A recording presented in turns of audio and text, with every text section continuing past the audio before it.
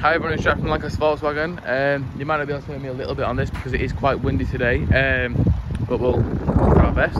Um, as we look at, we have a little um, tungsten silver Volkswagen up for you today. Um, some really lovely uh, silver alloys, really clean little car. Um, got some boot for you, so that's the boot dropped.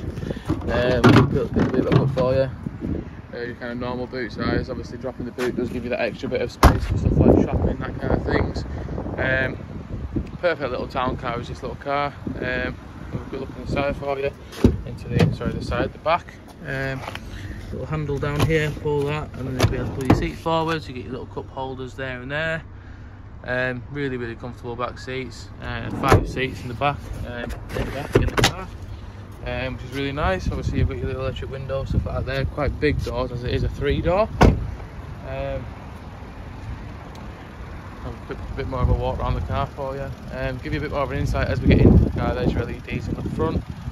Um, one thing you'll notice as we get in is um, it is the automatic, um, which you don't see very often in ups like this. Um, so bit of a, an insight for you because um, obviously they don't work like a normal DSG box do. Um, so drive is to the left, flick it backwards, that puts into manual so you can flick up and down for whatever gauge you want, flick it again back into drive. If, you if you're in neutral, you want it to go backwards, uh, reverse, you can't put it into drive from reverse. Um, same kind of thing you can't put it into reverse from, from drive. Um, so keeps you out of doing um, any little mistakes. Um, has got parking sensors in the back as we put it in reverse for you. There you go. Um, only 19,000 miles from new, which is well below average. Um, really good looking little car. You've got your little your little phone holder here, um, which is really nice um, and accommodating if you need a, a sat nav on your phone or anything like that.